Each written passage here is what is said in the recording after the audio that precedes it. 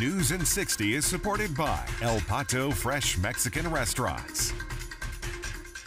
Well, the search continues today for a baby born just over two weeks ago in Cameron County. Multiple agencies are now joining in the search for baby Malachi.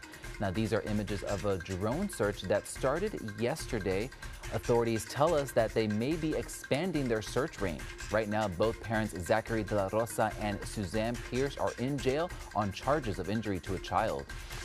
And the murder trial for Raul Lopez will resume today. The psychiatrist who treated Lopez while he was in jail will take the stand again today. She spoke yesterday, but not in front of a jury. A comment that she made yesterday regarding her notes prompted the defense to ask the judge to throw out her testimony because they say it's evidence they didn't have access to. The judge denied that request and gave the defense until today to review those notes. And a big announcement for high school students in McAllen and Edinburg. The school districts are partnering up with UTRGV to build a collegiate academy. The plan is for these schools to open in fall 2023. Students will be able to work toward a bachelor's degree while finishing high school. These college credits will be free and programs include health science, computer science, engineering, and education.